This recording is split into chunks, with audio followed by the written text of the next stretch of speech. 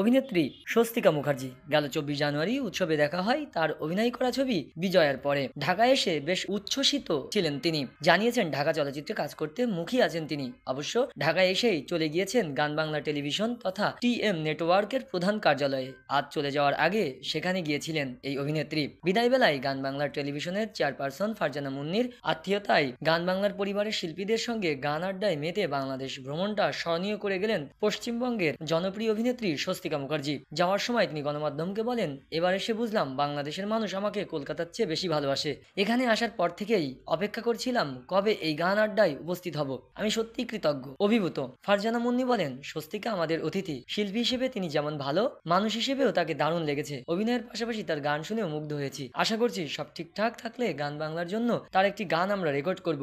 জনপ্রিয় এই লাইভ গান আড্ডায় উপস্থিত হয়ে নেচে গিয়ে মেতে উঠতে দেখা গেছে স্বস্তিকাকে। হামিদ আহমেদের কণ্ঠে মাইলসের নিঃস্ব করেছ আমায় গানটি শুনে স্মৃতিকাতরতায় ভাসেন তিনি।